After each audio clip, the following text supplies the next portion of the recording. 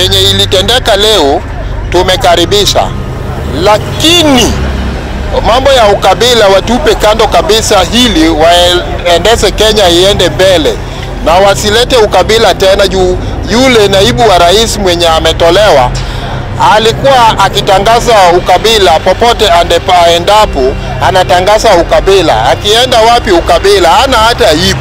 Lakini ni bahati mzuri amepelekwa nyumbani. Kindiki akule Biblia aingie ndani, kwa sababu Rigathi alikuwa na madharau, alikuwa amedharau wabunge, amedharau wananchi, amedharau wa Kenya, ako na ukabila. Sasa mimi naomba Kenya iendelee mbele, Wakenya tukae pamoja, tuishi pamoja kwa imani. Lakini kitu yenye najua na Kindiki, Kindiki anaenda kurefuka mbele, na pia ajue e, pia anaenda kutolewa vile wametoa Gashagwa.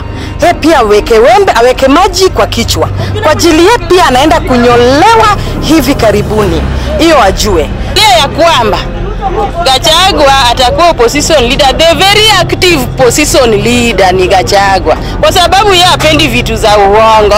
Akiambiwa hii atapinga, atapinga, atapinga. Sasa mi naomba 2027 Kindiki ujue ya kwamba utakuwa deputy ya Gachagua.